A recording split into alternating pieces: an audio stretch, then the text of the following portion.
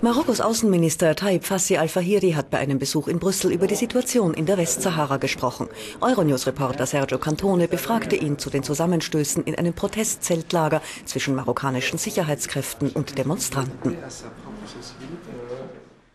Les forces de maintien de l'ordre sont intervenues la journée de jour. Die Sicherheitskräfte waren nur mit Schutzwesten und Schlagstöcken ausgerüstet.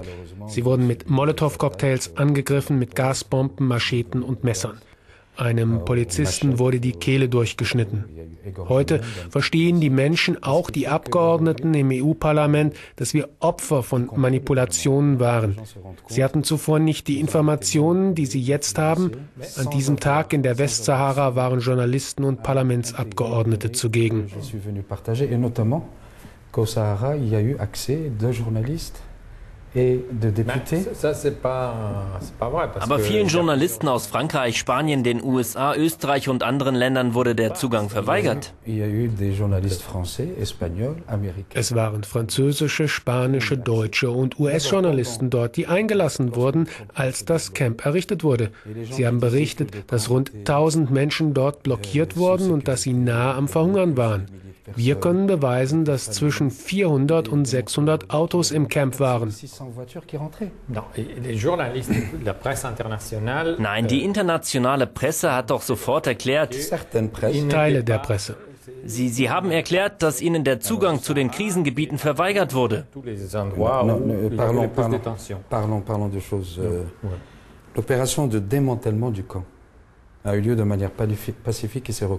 Als das Camp abgebaut wurde, geschah das auf friedliche Weise und das weiß jeder. Es gab keine Toten unter den Zivilisten. Manche Journalisten waren für mehrere Wochen dort und andere versuchten hinzukommen. Aber das Militär hat sie daran gehindert und erklärt, dass sie nur durch den spanischen Eingang in das Camp gelangen könnten. Es gab Manipulationen und das ist heute klar. Die Ereignisse wurden ausgeschmückt und übertrieben. Es ging nur darum, die Leute vom Wichtigsten abzulenken. Und das waren die Verhandlungen.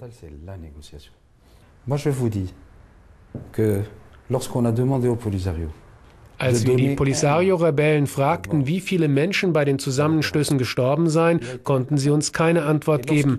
Als sie dann begannen, über Auschwitz zu reden, als die Rebellen einigen europäischen Medienvertretern erklärten, dass hier Zustände wie unter Pinochet herrschten, fragten wir nach Listen. Man gab uns die Namen von zwei angeblichen Opfern. De morts. Eh bien, les deux personnes aber diese beiden Menschen sind am Leben. Das können wir beweisen. Warum berichten Sie nicht darüber? Warum geben Sie den Menschen kein Selbstbestimmungsrecht und lassen sie entscheiden? Sie machen einen diplomatischen Fehler. Nein. Ich erinnere Ihre Zuschauer daran, dass das wichtig ist. Das ist eine wichtige Frage, Selbstbestimmung. Ja, ja, Selbstbestimmung. Also ein Referendum. Nein, das bedeutet es nicht. In der Charta der Vereinten Nationen taucht das Wort Referendum nicht auf, auch nicht in den Resolutionen des Sicherheitsrates. In der Vollversammlung der Vereinten Nationen, in der alle Staaten vertreten sind, taucht das Wort ebenfalls nicht auf. In der Praxis der Vereinten Nationen sind Referenden ein selten genutztes Instrument. Verhandlungen sind wichtig für Selbstbestimmung.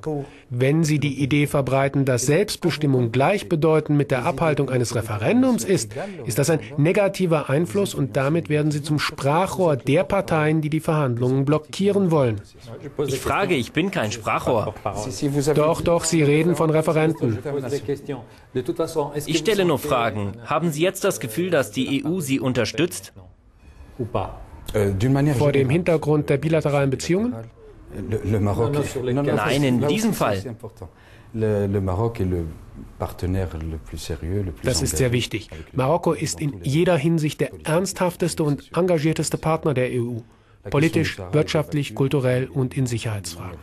Das Problem der Westsahara wird regelmäßig zwischen uns und der EU diskutiert. Die EU vertritt dieselbe Position wie die Vereinten Nationen. Sie ist für substanzielle Verhandlungen auf Basis der Anstrengungen Marokkos seit 2006, bei denen man nach Kompromissen sucht. Kompromisse bedeuten, dass man sich von extremen Positionen distanziert. Das ist die Haltung der EU und diese Haltung wird von vielen Mitgliedstaaten geteilt.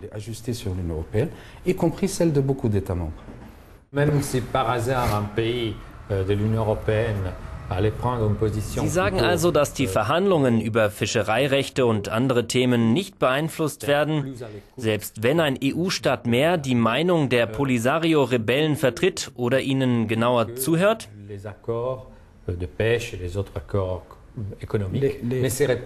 Les gouvernements, je pense qu'ils sont bien placés. Ich denke, die Regierungen, vor allem die EU-Regierungen, sind in der besten Position, um das Problem der Westsahara zu verstehen, seine Wurzeln, die gegenwärtigen Schwierigkeiten und auch die Kosten, falls es keine Lösung gibt. Die EU-Staaten und die Kommission sind bereit, die Anstrengungen anzuerkennen, die Marokko macht, um in den Gesprächen mit der EU voranzukommen. Alle EU-Staaten sind gut genug informiert, um einen klaren Blick auf das Westsahara-Problem zu haben, nicht nur auf das dortige Elend. Und dabei spielt es keine Rolle, wie groß oder klein der Einfluss ist, den jedes Land auf europäischer Ebene hat. l'influence que peut avoir tel ou tel pays euh, sur la décision au niveau de l'Union européenne.